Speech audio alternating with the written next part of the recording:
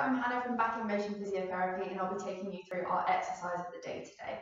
So this one is Pilates based exercise but you'll need a weight with you so a dumbbell is suitable or you can use a weighted tin or a heavy water bottle or something like that. So I'll show you the movement without the dumbbell first. We're going into a four point kneeling position, wrists below shoulders and knees below hips, trying to keep a nice tight core. What we're going to do is straighten one leg behind lift the opposite arm in front.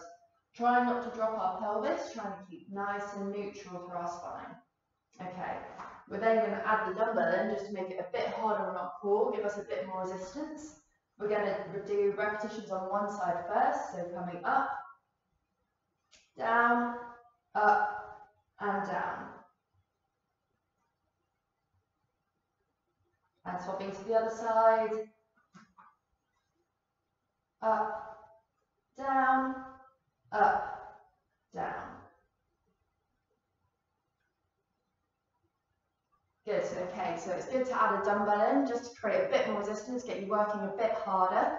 That exercise there, what I'd recommend doing is eight repetitions on one side and then eight repetitions on the other side and having a rest and then doing that for a further two. So you'd end up doing 16 repetitions for three sets, okay? That's your exercise of today. I hope you enjoyed it. It's a good one for the core.